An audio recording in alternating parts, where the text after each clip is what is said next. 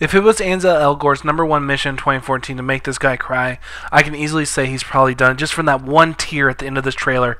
Just made me think, damn it, man, you're gonna make me do it again. After Fault in Our Stars, where you play this sick young man, you're gonna make me do it again. Now, the number one thing that had me the most intrigued about this trailer was the potential of seeing Adam Sandler actually try to act once again. Because in the last couple years, there's one thing that I've been hating about Adam, Adam Sandler is that how he has just been doing the same movie over and over again. And then to hear that he's going to be doing this film and knowing that he's probably going to try to bring his acting game, I can easily say by this trailer alone has shown me that there is potential of show of him showing us that he can actually act. Now I actually love the beginning of this trailer where you just see him just going down the hallway and all the kids coming towards him on their phone and you just see in the bubble text of what they're saying. And them not noticing the world around them and him just trying to bypass everybody.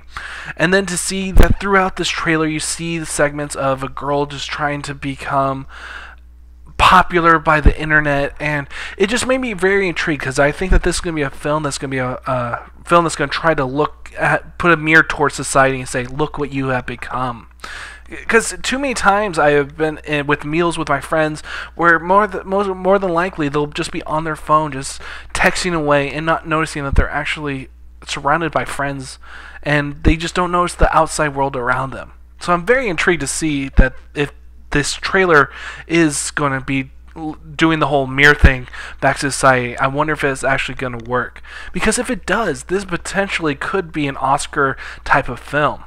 Now, let me know down below what are your expectations about this film, and uh, do you think that Adam Sandler is going to be bring his A game? And just let me know down below. And if you haven't seen my videos before, my name is David Lee, and if you liked what you've seen here, please put that push that subscribe button, and I'll see you guys next time on the David Lee channel.